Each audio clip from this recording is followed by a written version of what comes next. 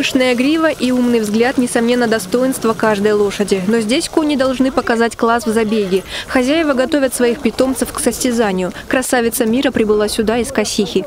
Мне нравятся такие соревнования. Вообще мне лошади нравятся. И вот я надумал в этом году первый раз поучаствовать. Да, это моя лошадь. Я на ней не работаю, просто для души, так скажем. Данила заботиться о лошади учил дедушка. С ним вместе мастерил сани. Главное, говорит парень, проверять копыта перед поездкой и следить за сытостью. Ведро воды и сноп сена на день коню необходимы. Среди наездников спортсмены-любители, а вот в рядах обыкновенных тягловых лошадок стали появляться тонконогие и породистые. Как это разгадка. Ну тут интрига в чем? Вот они круг бегут, красиво, все, но потом вот время интересно узнать. Вот эта интрига будет.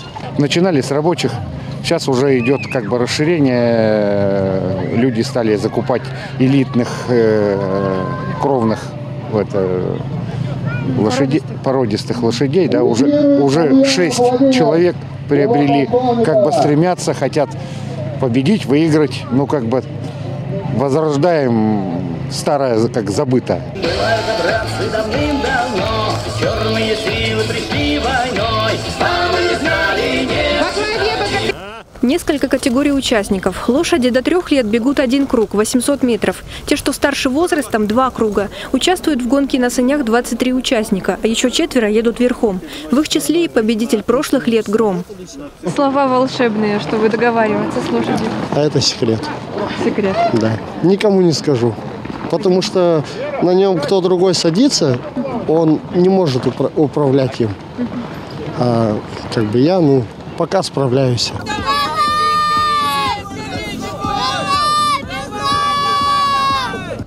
Конные бега в Налобихе – это большие народные гуляния. Здесь собираются жители восьми окрестных сел. Многие не столько ради победы, сколько ради участия. Да и зрители пришли не только из жажды адреналина.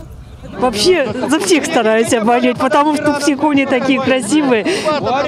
Короче, классно. Да, интересно очень. Пришли посмотреть. Мы ко- Конек обожаем. Ну, всем нравятся кони, многим людям.